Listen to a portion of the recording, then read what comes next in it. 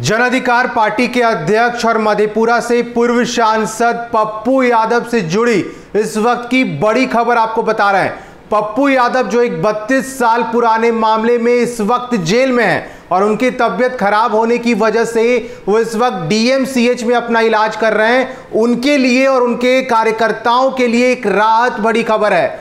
उनकी पत्नी रंजीत रंजन ने जो कोर्ट में जमानत के लिए अर्जी की थी, उसे पटना हाईकोर्ट ने मंजूरी दे दी है। इसका यही मतलब है कि अब उनके जो वकील हैं, वो ई फाइलिंग का काम आज कर सकते हैं। इसके पहले मधेपुरा सेशन कोर्ट ने पप्पू यादव को जमानत देने से इनकार कर दिया था। जिसके बाद पप्पू यादव के कार्यकर्ताओं में मायूसियाँ देखने को मिली। साथ ही जाप सुप्रीमो पप्पू यादव ने भी दुख ज़ाहिर किया था। लेकिन इस वक्त की जो बड़ी खबर आपको बता रहे हैं कि आज जन अधिकार पार्टी के सुप्रीमो पप्पू यादव के वकील कोर्ट में ई फाइलिंग कर सकते हैं, क्योंकि हाईकोर्ट ने जो उनकी पत्नी रंजीत रंजन है, उन्होंने जो हाईकोर्ट से अपील की थी, उनकी अपील को मंजूरी मिल गई है।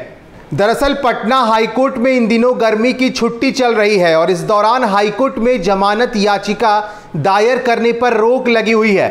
लेकिन पप्पू यादव की तरफ़ से जमानत याचिका दायर करने के लिए हाईकोर्ट से आग्रह किया गया था। इसे अति महत्वपूर्ण मामला बताते हुए हाईकोर्ट से पप्पू यादव की पत्नी, पूर्व सांसद रंजीत रंजन ने जो आग्रह किया, उसे कोर्ट ने स्वीकार कर लिया है।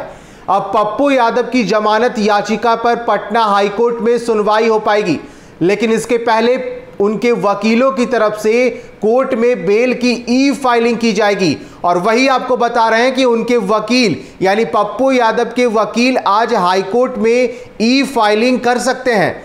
आपको बताते चले कि पप्पू यादव 32 साल पुराने अपहरण के मामले में इस वक्त जेल के अंदर हैं। दरभंगा के डीएमसीएच में बीमार पप्पू यादव का इलाज चल रहा है। पप्पू यादव की तरफ़ से इस मामले में गिरफ्तारी के बाद पहले भी पटना हाईकोर्ट से सुनवाई का आग्रह किया गया था, लेकिन कोर्ट ने तब इसे अति महत्वपूर्ण मामला मानने से इनकार करते हुए सुनवाई नहीं की थी। बाद में पप्पू यादव मधेपुरा की निचली अदालत में गए थे। मधेपुरा के एसीजेएम कोर्ट ने पप्पू की जमानत याचिका खारिज कर दी थी। बाद में पप्पू सेशन कोर्ट गए। सेशन कोर्ट ने भी उन्हें कई नियम शर्तों के साथ जमानत देने से मना कर दिया।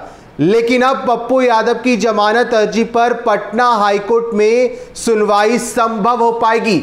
और पप्पू यादव के जो वकील हैं, वो आज हाईकोर्ट के अंदर ई फाइलिंग का जो काम है, वो कर सकते हैं, चूँकि पप्पू यादव की पत्नी और पूर्व सांसद रंजीत रंजन ने जो आग्रह किया था, उसे कोर्ट ने अति आवश्यक मामला मानते हुए स्वीकार कर लिया है। और अब उनकी सुनवाई एक बार फिर से पप्पू यादव की जमानत याचिका पर सुनवाई बहुत जल्द हो सकती है।